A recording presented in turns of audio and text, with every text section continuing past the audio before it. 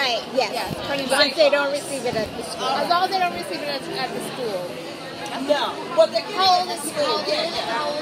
16 I feel like they think the highlighter. Uh-huh. Yeah, They think it's a candy. No, no, for teens. Yeah. All right, man. Yeah. thank you.